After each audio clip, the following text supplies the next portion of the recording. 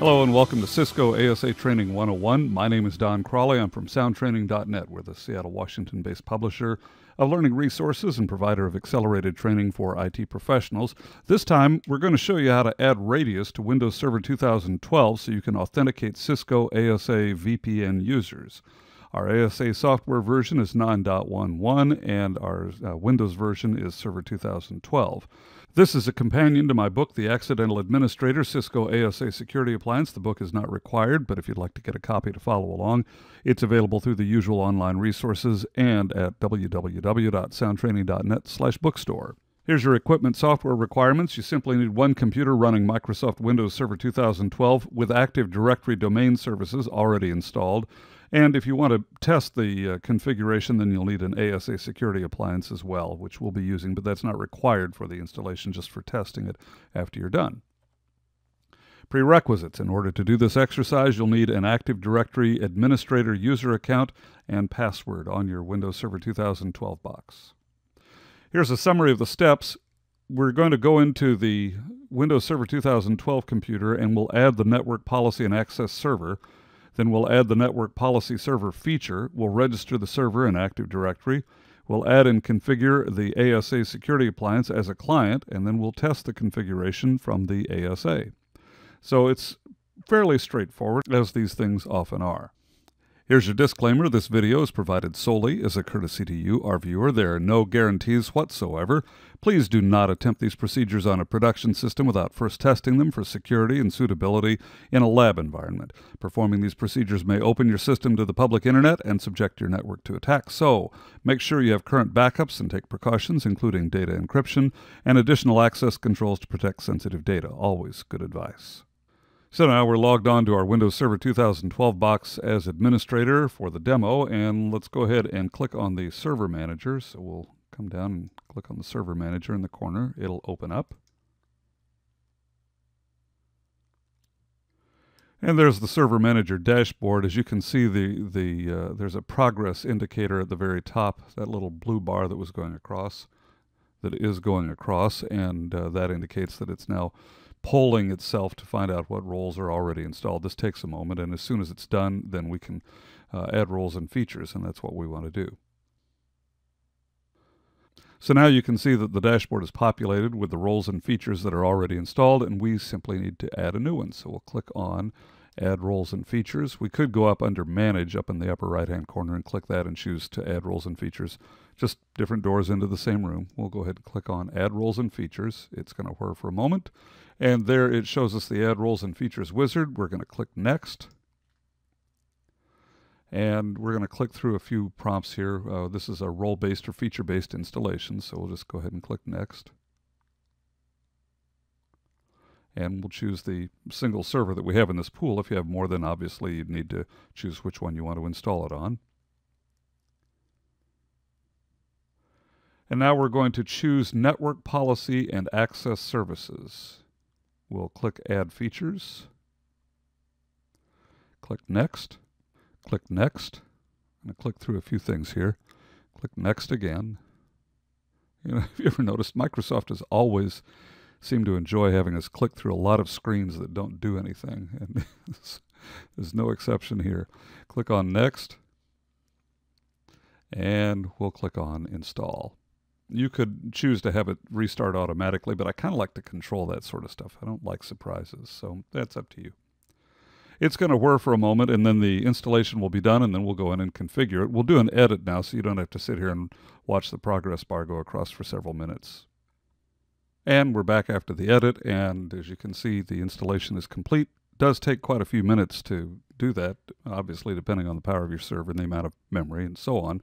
But we'll click close, We'll click on NAP and it'll whir for a moment and then we'll go about configuring it to accept radius authentication from our ASA.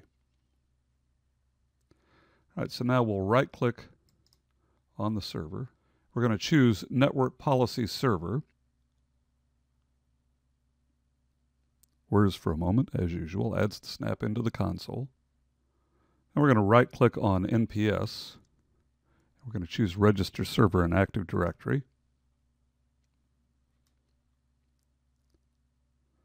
Click OK. Yes, that's what I want. And we'll click OK again. Now we're going to expand Radius clients and servers. And we'll right click on Radius clients, choose new, and we're going to add a new Radius client. So we'll start by giving it a friendly name, and I'm just going to give it the same name that it's known by in the rest of the network, so that'll be ASA01. We'll put in its IP address of 192.168.101.1. We're going to come down and enter the shared secret. This has to match the password that you configure on the ASA. This is a machine to machine. This has nothing to do with the end users. This is the ASA authenticating itself against Active Directory. So this has to match whatever you configured on the ASA or whatever you're going to configure on the ASA, depending on the order.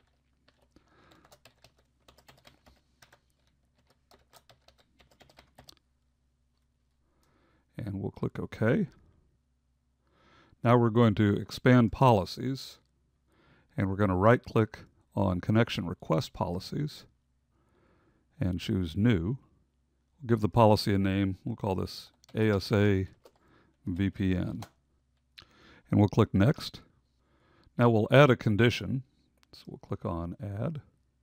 And we're going to scroll down to client friendly name. Right there you can see it. So we'll go ahead and click on that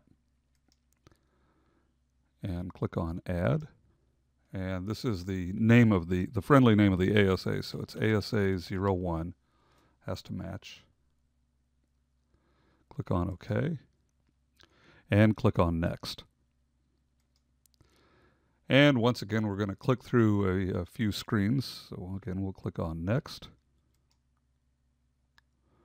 and next. We're going to set the attribute to username. Click on next and finish, but we're not done yet. We're just finished with that part of it. Now we're going to right click on network policies and choose new.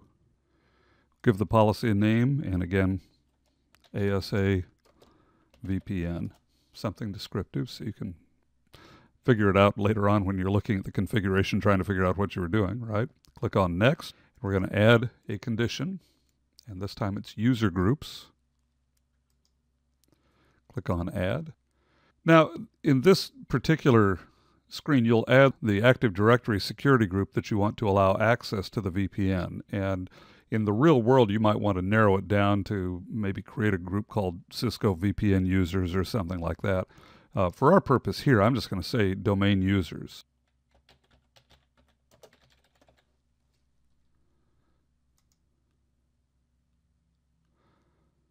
And we'll click through. Click OK.